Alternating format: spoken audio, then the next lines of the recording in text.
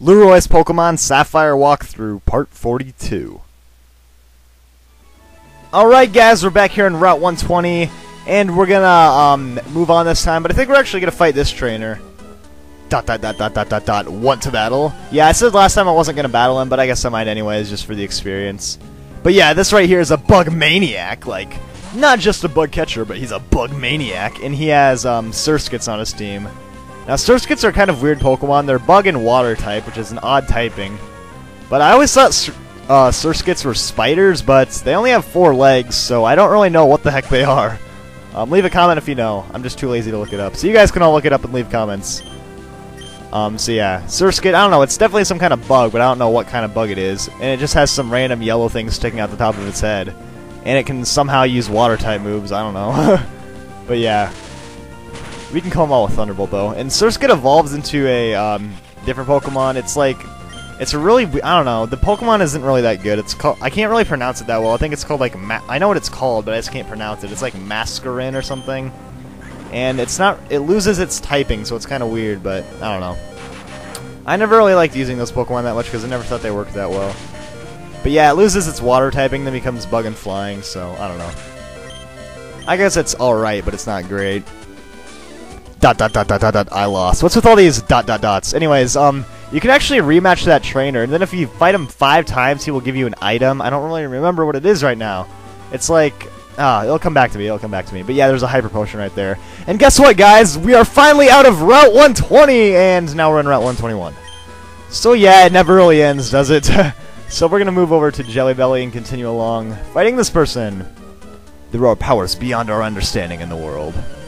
Yeah, um, anyways, this is a crazy witch lady. Like, why would you walk around dressed like a witch, holding like a little, like, I don't even know what, she's holding like some weird, one of those like fortune things in her hand, like, I'm pretty sure, like, in real life, if you walked around, like, dressed as a witch, you would get, like, burnt alive or something.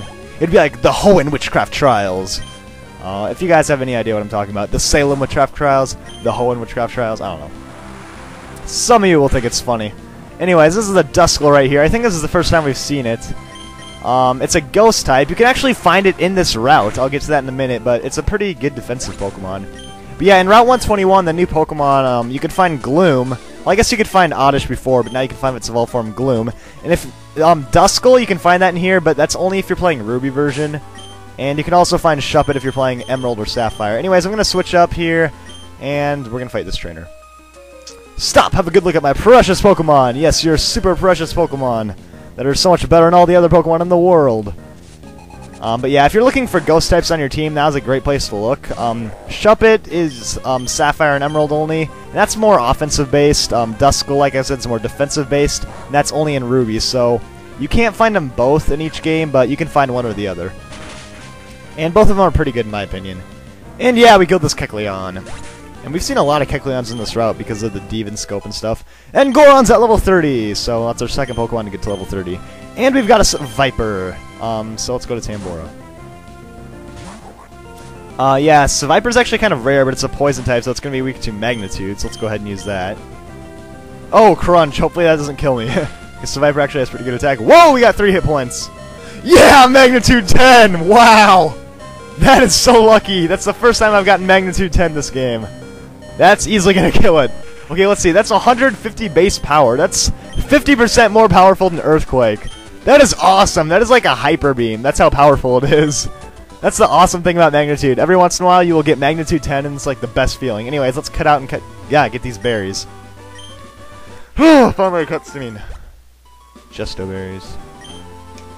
This scene is gonna get cut out of the video so I can say whatever I want and it won't be on the real video on YouTube. None of you will hear me right now. It'll be oh my phone's ringing. Yeah, whatever. Anyways, we are picking berries and it's gonna get cut out of the video. I should leave that in there just for fun. I was gonna cut that out, but I think I'm just gonna leave that in there. Anyways, let's continue along here, and let's actually spray a repel right now. Um, yeah, I think I'm going to leave that part. Oh, wait. Oh, it's Team Aqua. And they're going to Mount Pyre. Like, didn't we just see Team Aqua, like, right before Fortree City, but they're already back? Anyways, yeah, they went down to Mount Pyre. That's something we'll be doing later. Anyways, let's cut down this tree and see what's over here. Might be an item or something. And, oh no, it's just a secret base. Alright. Never mind, you don't need to go over there. So, we got a double battle right here, and since Tambor's almost dead, we're going to switch up a bit. Um, so let's try out Jelly Belly. Yeah, Jelly Belly on Goron, that should work fine. So, let's go ahead and do this double battle. Together we're fierce, we'll demonstrate how tough we are. Alright, so, uh, classic double battle with those two girls, Senior and Junior. And they've got a Spinda and a Slaking. Those Pokemon really don't go together at all. It's like a giant hairy beast and a little teddy bear. Except Spinda really freaks me out. I don't know about you guys, but like, look at it. It's like a little evil teddy bear. Like, and look at its eyes. It doesn't even have eyes. It just has like, like a swirling line. It's like, ugh, it freaks me out. Um, anyway, oh, Psybeam! Dang it, that's super effective. Wow, don't just be smart and use the right move. Trainers aren't supposed to do that, everyone knows. Anyways, um, yeah, Spinda, like, wouldn't it be so freaky to see a little teddy bear, like, walking around with those eyes? It would, like, just, oh my god, that'd be so scary.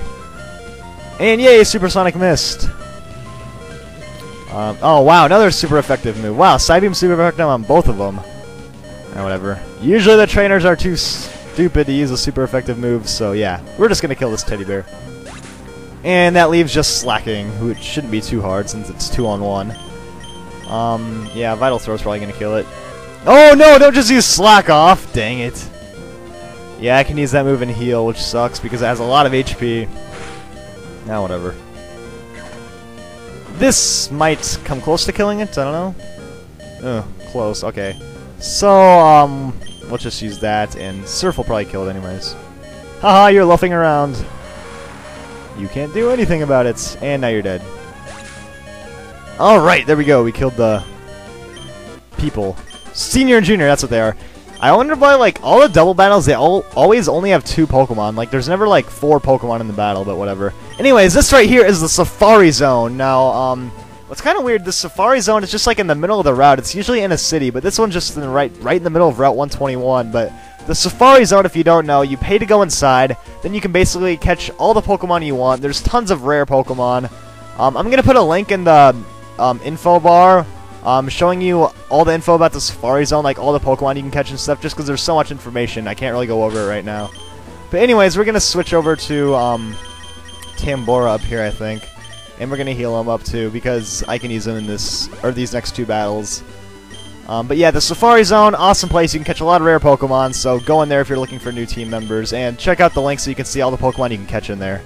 And anyways, this guy right here, don't ask me how I know this, but this guy's name is Gentleman Walter, and he has one Manectric on his team.